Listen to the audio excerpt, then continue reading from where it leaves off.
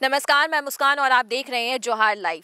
और अभी मैं मौजूद हूँ राजधानी के होटवार जेल समीप। और यहाँ पे पिछले दो घंटों से ईडी की छापेमारी चल रही है। बताया जाता है कि लैंड स्कैम मामले में ईडी ने छापेमारी की है।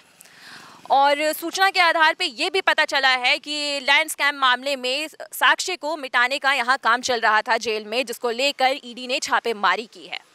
तो अब देखना ये होगा कि ईडी के हाथों लैंड स्कैम मामले में कुछ सबूत साक्ष्य हाथ लगते हैं या नहीं लगते हैं। और ऐसे ही आगे की तमाम जानकारियों के लिए बने रहे जोहार लाइव के साथ, मैं मुस्कान।